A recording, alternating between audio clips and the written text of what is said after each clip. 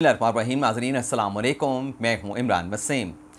नाजिन आज 13 जुलाई है, दिन है बुध का और साल 2022 नाजिन आज के रोज़ का ये हमारा दूसरा वीलॉग है, जिसमें चार अहम ख़बरें आपके साथ शेयर करेंगे। लेकिन सबसे पहले आपसे दरख्वास्त करेंगे कि चैनल को सब्सक्राइब करें और बेल आइकॉन का बटन भी ज़रूर प्रेस करें। नाजिन पहली खबर, सबक वज़ी अजम इमरान खान छा गए हैं। एक ऐसी चीज़ हुई है, एक ऐसी डेवलपमेंट हुई है, जो सिर्फ़ चेयरमैन तहरीक इंसाफ, इमरान खान साहब का खासा है। ये क्या मामला है? ये डिटेल आपको बताएँगे। और फिर दूसरी खबर में बात करेंगे पंजाब के ज़मनी इंतबात में, जो धांधली के संगीन इल्ज़ाम लगाए जा रहे हैं। उन इल्ज़ाम को लेके नया कट्टा क्या खुला है, क्या नई पेशरफ हुई है? और जो खान साहब ने एक नया इल्ज़ाम लगाया है कि मुल्तान में धांधली के लिए मिस्टर एक्स ने मिस्टर मिस्टर वाई को मुल्तान भेजा है तो ये मिस्टर वाई कौन है, इस पर भी आप नाजरीन के साथ गुफ्तु करेंगे।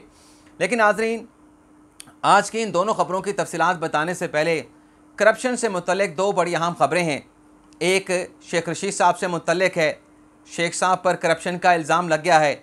वो इल्ज़ाम क्या है और करप्शन के उन इल्ज़ाम पर शेख साहब ने क्या मौक़ दिया है, वो आपके साथ शेयर करेंगे। और फ़रा गोगी से मुतलक नैब में क्या पेशरफ हुई है इस खबर की डिटेल भी आपके साथ शेयर करेंगे। तो नाजिन शेख साहब पर इल्ज़ाम यह लगा है महकमा एंटी करप्शन की जानब से जो पंद्रह जुलाई को तलबी का शेख साहब को नोटिस जारी किया गया है उसमें नाजरीन शेख साहब पर इल्ज़ाम यह लगा है कि आपने एक हाउसिंग सोसाइटी को अपनी ज़मीन फ़रोख्त की और ज़मीन फ़रोख्त करने के बाद जो आपको पैसा मिला उस प्रॉपर्टी को बेचने के बाद उस पर जो टैक्स बन, बनता था जो आपने टैक्स अदा करना था उसमें करोड़ों रुपए का गबन किया गया है, करप्शन की गई है, टैक्स चोरी किया गया है।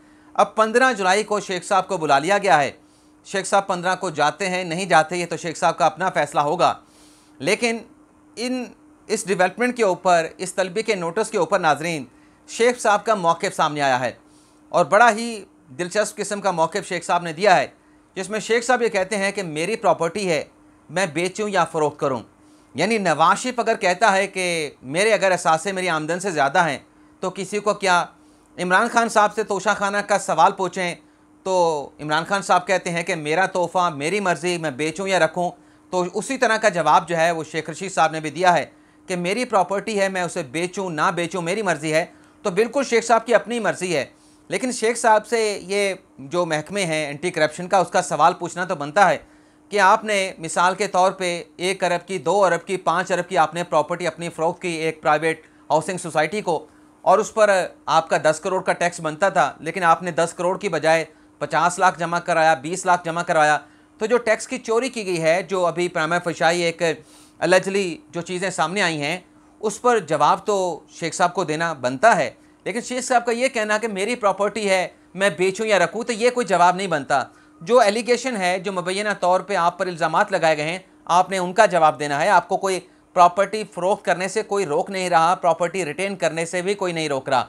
अब जो दूसरी खबरें नाजरीन फ़रा गोभी सा, गोगी साहबा से मुतलक वैसे तो जब हुकूमत तब्दील हुई तो बहुत सारी डेवलपमेंट हुई कि फ़रा गोगी के ख़िलाफ़ ये खोज खुल गया आमदन से ज़्यादा सासाजात का केस खुल गया। तो अब नाजरीन जो टेंजिबल डेवलपमेंट हुई है नाजिन वो ये हुई है कि इंक्वायरी के नतीजे में नैब ने अब फरा गोगी साहबा को 20 जुलाई को तलब कर लिया है और जो उनके खिलाफ एसेंट बियॉन्ड द मीन का जो केस है, यानी आमदन से ज़्यादा असाजात को जो केस है, उसमें ना सिर्फ़ फरा गोगी को बुलाया गया है, बल्कि मजमू तौर पर बीस लोगों को तलबी के शोकास नोटिस जारी किया गया है, जिसमें जो मुलाजिम हैं फ़र फ़रा गोगी साहबा के या मुबैना तौर पर जो उनके पार्टनर्स हैं, उन सबको कल और परसों की तारीख, यानी चौदह और पंद्रह जुलाई को बुला लिया गया है। अब जब ये खबरें चल रही थी हुकूमत की तब्दीली के बाद तो बहुत सारे सहाफ़ियों की जानब से कहा गया, बल्कि उनके जो हस्बैंड हैं, एस एन इकबाल गुजर, उनकी जानब से कहा गया कि फ़रा गोगी गलबन अठारह मई को वापस आ जाएँगी। तो नवाज़ शरीफ को तो कहते हैं इसाकडार को तो कहते हैं सलमान शहबाज को कहते हैं, और हसन नवाज़ को कहते हैं कि वो करप्शन करके बाहर चले गए, पाकिस्तान वापस नहीं आ रहे। तो ये जो फ़रा गोगी और एहसन जमील गुजर बाहर जाके बैठ गए हैं, इनके खिलाफ़ यहाँ पे केस खुले हैं। अगर कुछ किया नहीं, कुछ गलत नहीं किया करप्शन नहीं की तो पाकिस्तान वापस आए। इमरान रियाज खान भी तो पाकिस्तान में ही था ना। अपना जो भी केस था, झूठा था, सच्चा था, किसने बनाया था, किसने नहीं बनाया था, लेकिन डट के खड़ा रहा, भागा नहीं। फेस किया, फेस करने के बाद जिस तरीके से भी उन्हें ज़मानत मिली, जितना भी स्ट्रगल करना पड़ा प्राइवेट गाड़ी में बैठे रातों को उन्होंने जेलों में काटी और जेलों में मुलाकातें हुई। जिस तरह से भी उन्होंने वो वक्त काटा, लेकिन पाकिस्तान में रहे। फेस किया सब मुश्किल वक्त को उन्होंने फेस किया। तो ये भी वापस आए, अगर उन्हें शिकवा करते थे कि वो हमारे सियासी मुखालफी शरीफ ख़ानदान, जरदारी ख़ानदान के लोग भाग गए हैं तो ये भी भाग के बाहर गए हुए हैं। ये भी जवाब देने के लिए तैयार नहीं है।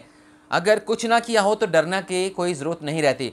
अब जो असल खबर आपके साथ हम शेयर करेंगे, जो पंजाब के ज़मनी इंतबात में धांधली के इल्ज़ाम लगाए जा रहे हैं तो आज खान साहब जो है वो जंग में मौजूद थे।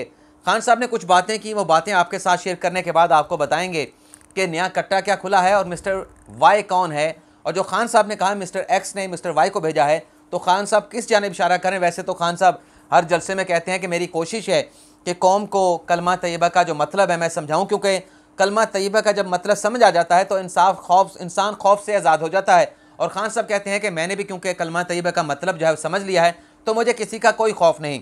एक तरफ़ खान साहब ये कहते हैं, दूसरी तरफ़ खौफ का ये आलम है कि मिस्टर एक्स कौन है, मिस्टर वाई कौन है, उनका नाम नहीं बताते, इशारों को नए में खान साहब बात करते हैं।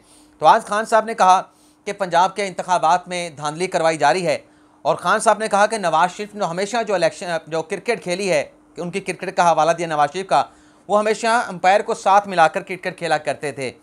तो खान साहब से अगर हम सवाल पूछें तो कुछ दोस्त नाराज़ हो जाएँगे। अब खान साहब कहते हैं कि नवाज़ शरीफ अंपायर को मिला के अपने साथ क्रिकेट मैच खेलता था और इलेक्शन भी ये अंपायर को अपने साथ यानी इलेक्शन कमीशन को चीफ सेक्रेटरी को आईजी को साथ मिला के जी, जीतेंगे।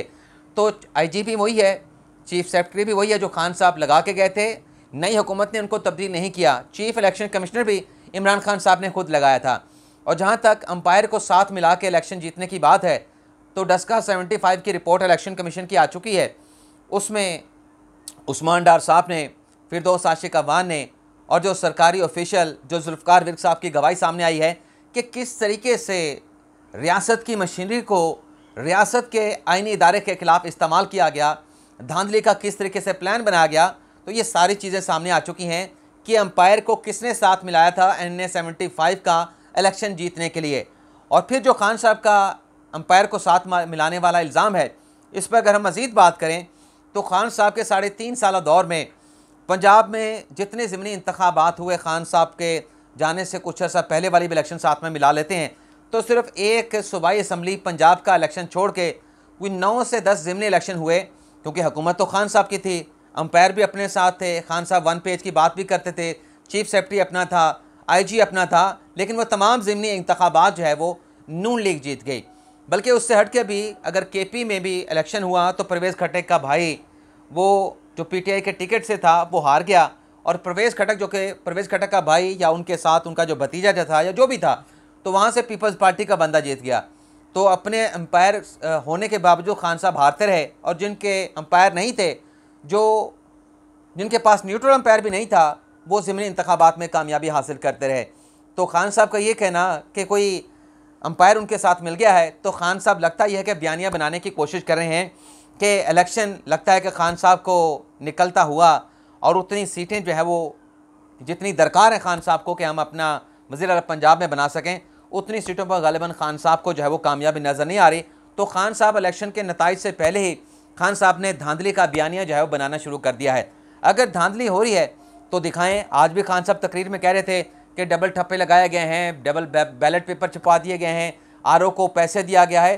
पहले तो उस आर का नाम बताएँ किसको पैसा दिया गया है और फिर जो डबल स्टेप की बात की जाती है नाजरीन, इलेक्शन में धांधली जो होती है, अब उसके मैकेनिज़्म चेंज हो गया है। अब इलेक्शन से पहले धांधली होती है प्री पोल धांधली होती है। लोगों के बंदों को तोड़ के दूसरी सियासी जमातों में जिस तरह से खान साहब 2018 का इलेक्शन जीता था, अब उस तरह से इलेक्शन होती है। लेकिन पोलिंग स्टेशन के ऊपर धांधली करना, ये क्वेश्चन ख़त्म हो चुका है ख़ास तौर पर पंजाब के अंदर, क्योंकि लोगों के अंदर बहुत ज़्यादा शुरू आ चुका है। अब पोलिंग स्टेशन में आप सब देखने वालों को पता है कि जब पोलिंग हो रही होती है, वहाँ पे नून लीग का एजेंट भी होता है, पीटीआई का एजेंट भी होता है, पीपी का एजेंट भी होता है तहरीक जो लबैक है या रसूल उनका एजेंट भी होता है, जितनी सियासी जमातों के कैंडिडेट होते हैं, सबका एक एक नुमाइंदा वहाँ पर मौजूद होता है। सबके पास वोटर फहरिस्तें होती हैं। जो वोट, जिस वोट का बैलेट पेपर जारी होता है, प्रिजाइडिंग ऑफिसर बताता है असिस्टेंट प्रिजाइडिंग ऑफिसर बताता है कि हमने ये वोट ये बैलेट पेपर इशू कर दिया है। आप अपने वोट वोटर लिस्ट से इसको काट दें और फिर वो बैलेट पेपर वाला उसके आके तस्दीक भी करता है, उसका शनाख्ती कार्ड भी देखते हैं।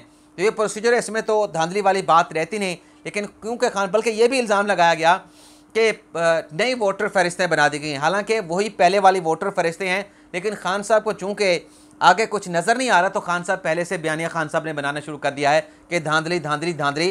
तो जिनकी हुकूमत है वो आपकी हुकूमत में भी अपोजिशन में होते हुए आपसे इलेक्शन जीतते रहे। आपके अंपायर थे आपका वन पेज था आपका आईजी था आपका चीफ सेक्रेटरी था लेकिन इलेक्शन तमाम अपोजिशन ने जीते। अब आ जाते हैं मिस्टर एक्स तक तो आपको पता है आ, मैं नाम नहीं लूँगा। क्यों नहीं लूँगा? बल्कि मैं एक आध वीलॉग में ले भी चुका हूँ। तो किसी को अगर ज़्यादा तो जस्टिस हो रहा है तो वो इमरान रियाज खान का पिछला वीलॉग थे थे जिसमें उन्होंने खुद कहा था कि फ़लाँ बंदा जो है वो जुल्म कर रहा है, उन्होंने बाजवा साहब से रिक्वेस्ट की थी कि ऐसा ना किया जाए।